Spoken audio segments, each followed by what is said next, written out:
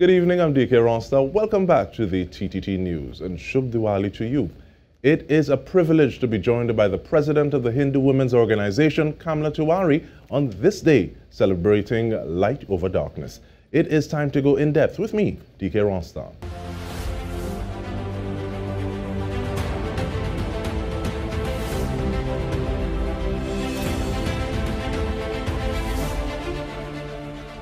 And a blessed Divali to you, Ms. Tewarie. How are you doing? I'm doing fine, thank you, and thank you for having me. And I want to ask about the significance of this day to you, because for some persons it is more personal, for some it is more national, for some it is community. But what is it that really resonates with you?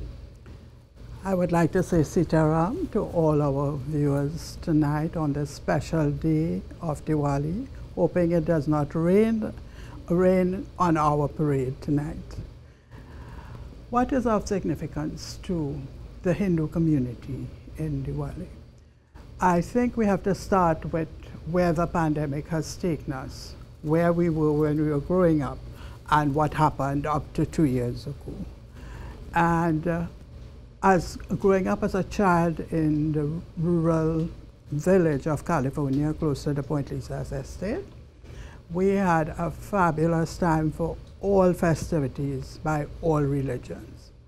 We, because my father was a pandit and a community leader, all the young people of our street and adjoining streets would gather at our house after lighting their diyas at home and come and then we'd put out hundreds of diyas. And there was such camaraderie, there was such um, collaboration. There was such fun in who put out the most gears and how they take them and who spilled and who burned and all of that. But that was then. And then it moved to the level of community where several communities got together, lit up in an empty lot in a park. I don't think when I mean, when I was that young, that we ever did it in parks. Somebody's empty lot across the road or something became the community space. And then we went to the phase where um, parks and uh, public spaces were really um, the gathering space for people of all ethnicities.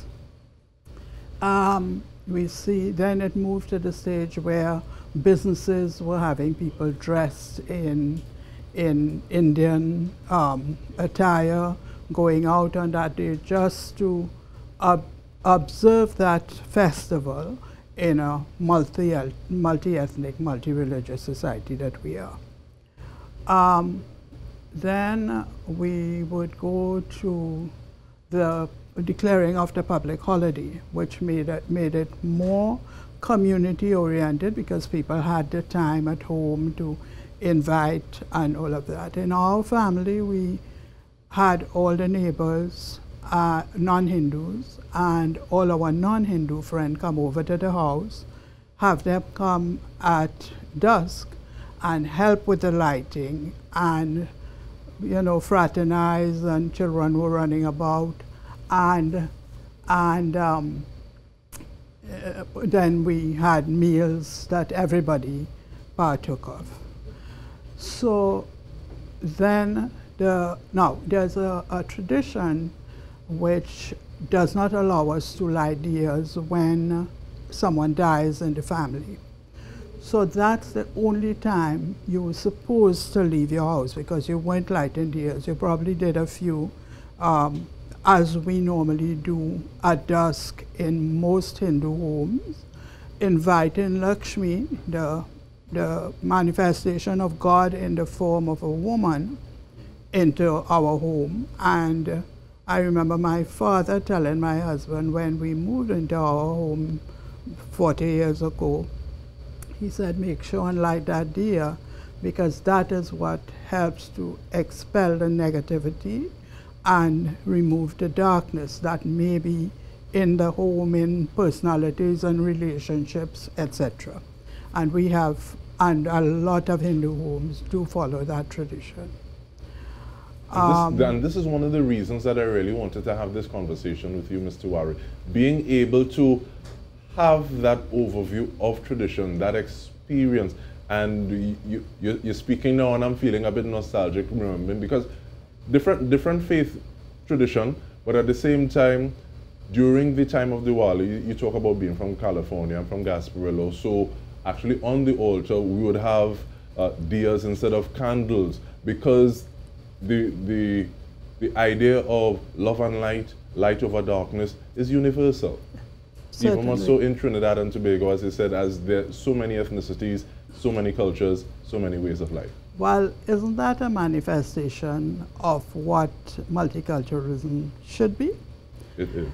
Because moving up to, be, I mean, we do advertise ourselves as a diverse community.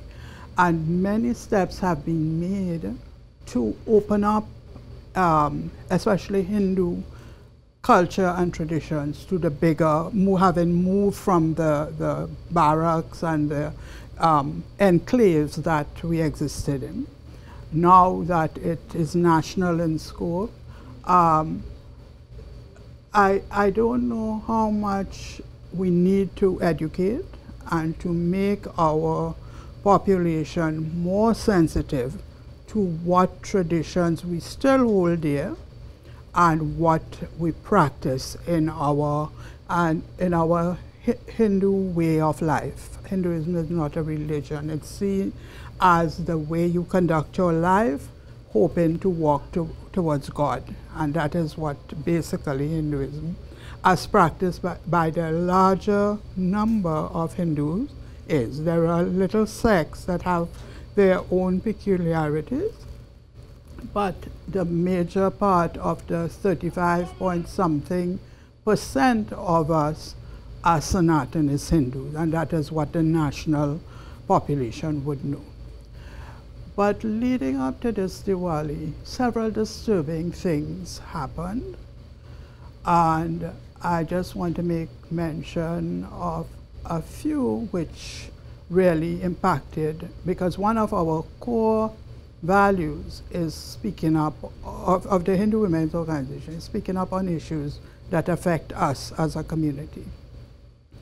So we saw the Curry-Q issue where meat was advertised. Now we're looking not at the people who organize it because generally the leader has to take responsibility.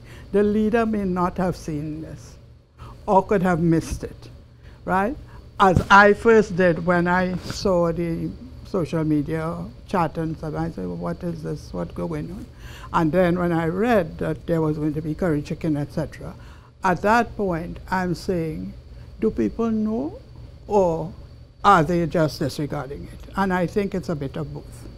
Secondly is a poultry um, outfit advertise spe Divali special, chicken breast X number per pound, this, that. Now, I don't think that that one should have escaped um, scrutiny. Thirdly, we saw the comment in Parliament. I mean, most people there are very well educated as to the politics, the makeup of the society, etc and talking about Hindus will go at Divali Nagar and spend one set of money but don't want to pay property tax. I think I'm correct in, I was not here at the time, so I didn't pick up on the news, but I think that's what happened. And what is the difference of me shopping in a mall for Christmas to shopping at Divali Nagar, which is once a year, which is the type of attire I like to wear and which identifies me as a Hindu. So I think that was very um, out of place.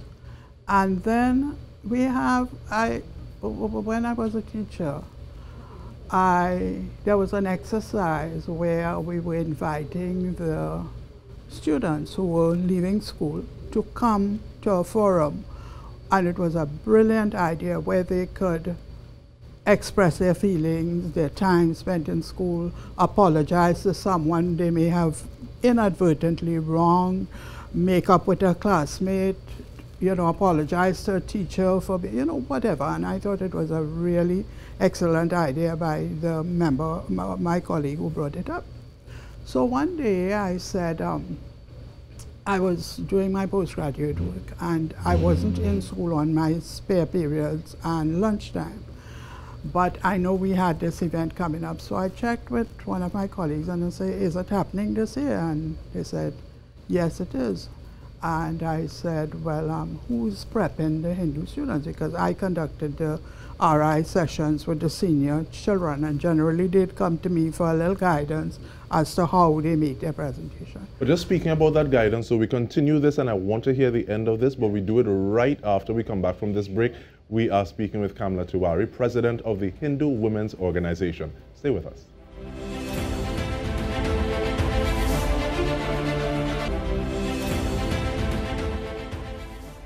Welcome back. We are going in depth speaking with Ms. Kamla Tewarie, the president of the Hindu Women's Organization.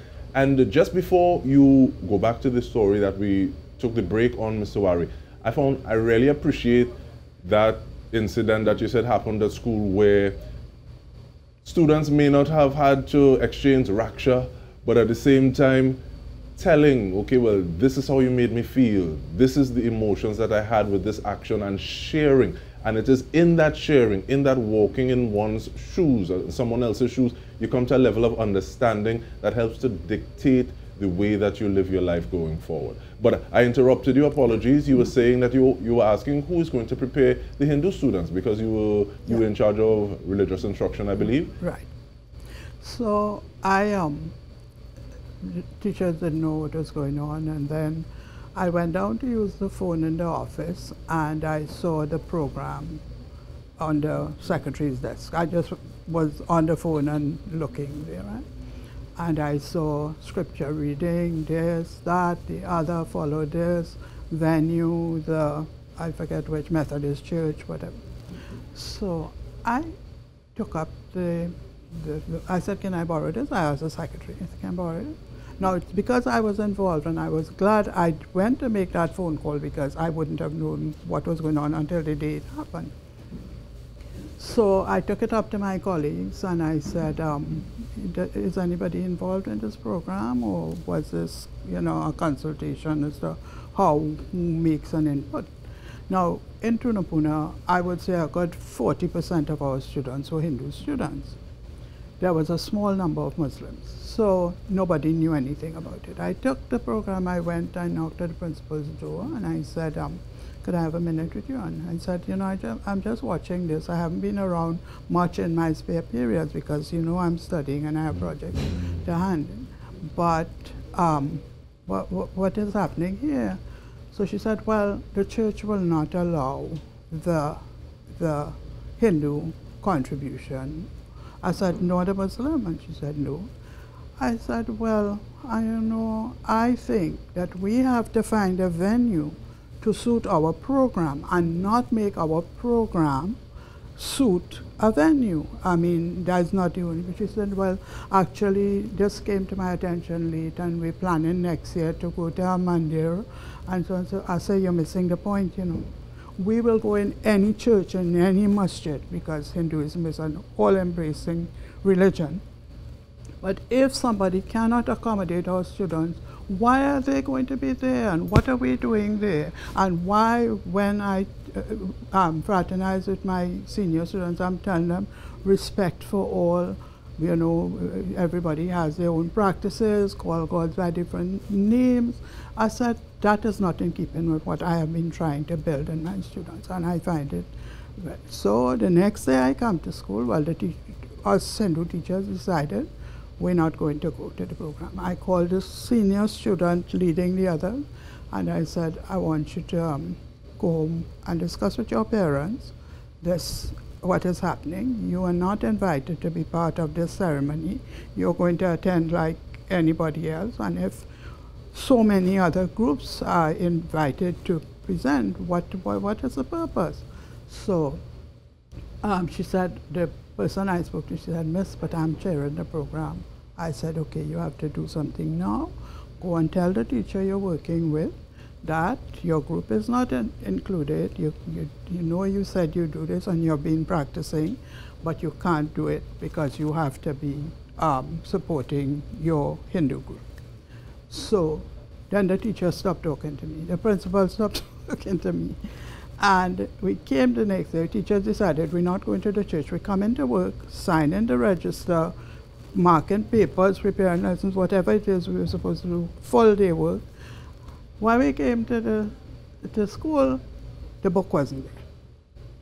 Now, that is against regulations. That book is not supposed to leave the compound. That's one.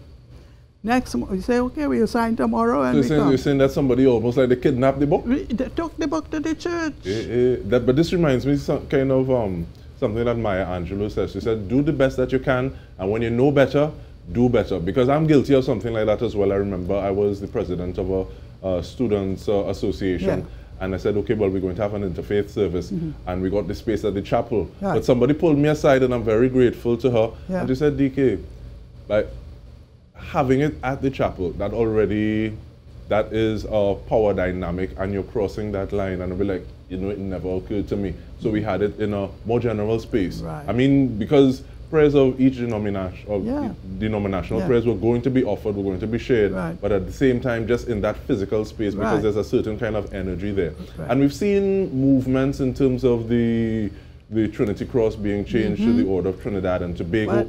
And that is the role of education, one, and right. being open to that level right. of education and sharing. Right. But with that in mind, though, what is the role of the Hindu Women's Group?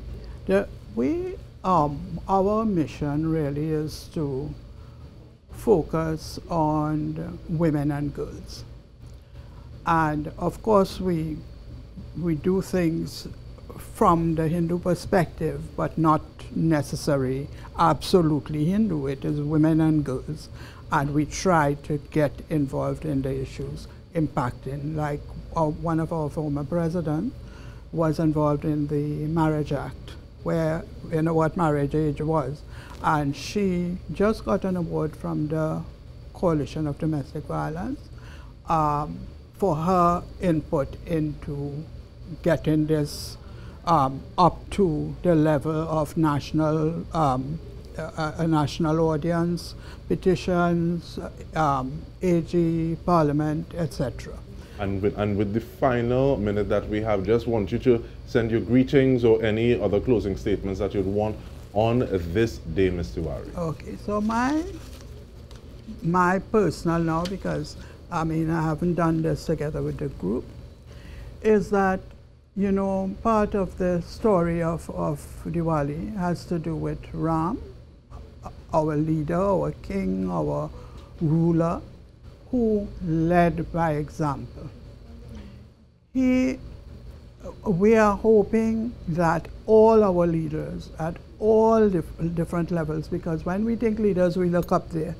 I am a leader in my group. I was a leader in my classroom, uh, etc. So we're looking at community groups, regional cooperation, wherever we are. I'm looking, I'm hoping and praying that we look at our duty and obligation to the people we say we represent in a non-discriminatory fashion. And I am hoping and praying too that we embrace in our leadership roles, embrace ethical and moral values based on truth, which in Hindi is Sat, and we are bound by the oaths we take when we assume these roles as leaders. And that will take Trinidad and Tobago very far. Uh, one more thing in terms of education and sensitizing. You know, when we go to a function, we, we expect a, a universal prayer, and I always comment, universal prayers need to be paid attention to. We have no Our Father in our religion, and there can be no hegemony, which there has been for a long time, by the Christian dominance coming from, you know, our history. Now to say, dear God, all of our, whatever name we call it by, and not to end. I mean, if we say peace, that is a, a word that we all hope for. So instead of the this and the that and the that, universal prayers have to include all in that room and all who are listening and um, viewing. And if that were to happen, that's a lot of sensitization. I want to thank you so much, Ms. Tewarie, Kamla Tewarie, President of the Hindu Women's Organization. And I say with the strength of my hand, the intelligence of my mind, and all the love in my heart, thank you for coming. And on behalf of the entire TTT News team, we want to thank you for joining us on this very special evening.